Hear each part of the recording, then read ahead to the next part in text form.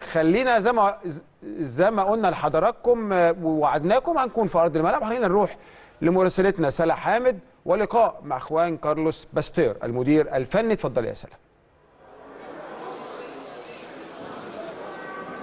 من جديد طبعا برحب بيك يا كابتن هيثم وبضيوفك الكرام وبكل مشاهدي ومتابعي شاشة قناة النادي الأهلي في كل مكان. وزي ما انت قلت طبعا بس خليني في البداية طبعا أبارك لحضرتك وأبارك لكل الجماهير المصرية. فوز منتخبنا طبعا على غينيا في أول مبارياته في مشواره في بطولة كأس الأمم الأفريقية لكرة اليد رجال 2024 ويمكن طبعا زي ما حضرتك قلت معي في هذه اللحظات لقاء طبعا مع المدير الفني الإسباني لمنتخبنا الوطني مستر كارلوس باستور مستر كارلوس course let me welcome you on the Ahli TV channel and also let me tell you congratulations for your first match in the, this tournament, in this championship, the African Cup of Nations uh, for uh, handball men's. So uh, congratulations on the first match and uh, tell me, yes, and also tell me your opinion uh, for the performance of all the players in the national team.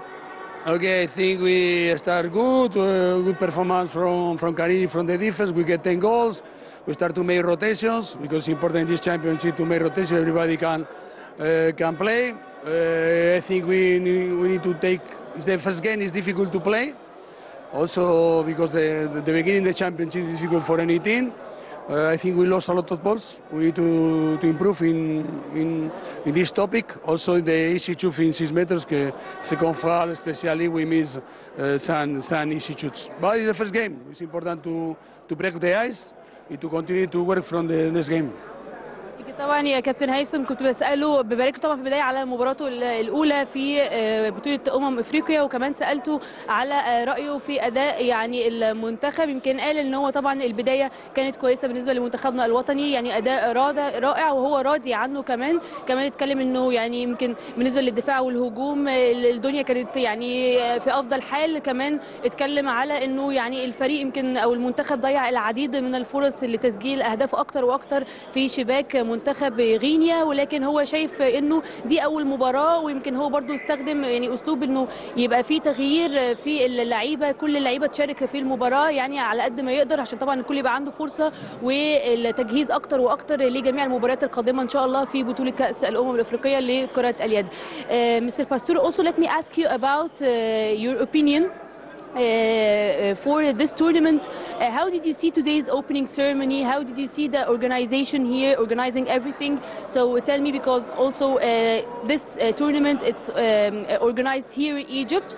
so tell me what's your opinion about the championship? Amazing. The, um, the opening ceremony was amazing. I like so much. Okay, congratulations for the organization to make this. at the moment for, for us, all is, all is fantastic.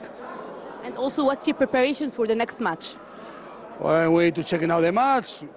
Tomorrow we make in the morning some recovery. In afternoon we make training session like always. We prepare with the video. We're ready for this match.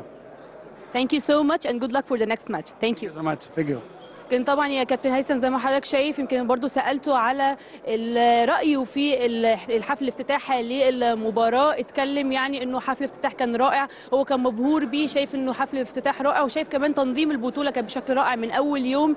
طبعا اللي بتنظم على أرض مصر. كمان سألته على استعداداته إن شاء الله للمباراة القادمة يوم الجمعة. يمكن قال له يعني الاستعدادات هتكون بشكل طبيعي. بكرة إن شاء الله هيكون في استشفاء أو ريكفري لكل اللعيبة وبعد كده طبعا هيكون في تمرين وكمان محاضرات فيديو هيتفرجوا على مباراة اليوم ويشوفوا طبعا الأخطاء عشان يقدروا إن هم بعد كده يصححوها أو ما يكرروهاش في المباراة القادمة. فالاستعدادات بشكل طبيعي إن شاء الله لمنتخبنا الوطني. بشكرك جدا طبعا يا كابتن هيثم والان العوده مرة أخرى للاستوديو. سلا حامد بشكرك شكرا جزيلا.